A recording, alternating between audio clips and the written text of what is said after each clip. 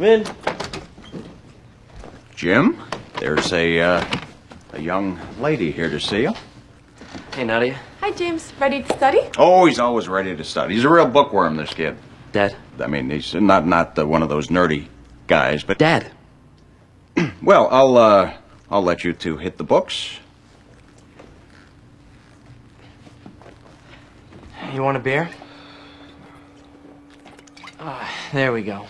Come on, move! Steve! It's my computer and I want to use it. Shut up. Uh, you need to uh, you, you need to change, right? Do you mind? No, no, uh, no, not at all. Um, please, uh, you know, just go ahead and, and get on, get changed. I'll, uh, I'll go downstairs and I'll start studying up. Okay. yeah. Ah, there he goes. Now we're in business. Back in a sec. Jimmy, honey, where...